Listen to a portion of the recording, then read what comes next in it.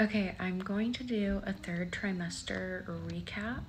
Now, while I'm filming this, I still have a few more weeks left in my third trimester, but decided to go ahead and just record this since it's almost over.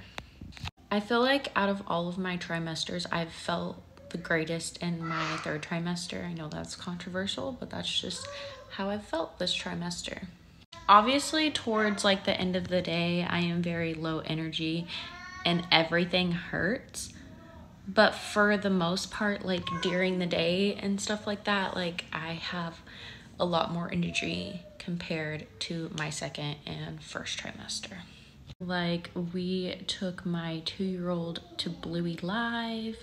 We've gone to Disney on Ice with both kids and I ended up wrestling my 15 month old when we met when we went because she did not want to go to my fiance. Every time she was with my fiance, she would cry. Um, whereas she was with me and like I just let her basically climb me like a jungle gym and she was fine. And then luckily she fell asleep for the second half. Honestly, like a few weeks ago, I was getting very frustrated because you know, you pee a lot when you're pregnant, especially when you're getting like closer to like the end and I was getting very frustrated because I would be waking up multiple times in the night to pee. So, like, that was very much interrupting my sleep. But within this last week, like, I mean, I still pee a lot, but I'm not getting up as much during the night.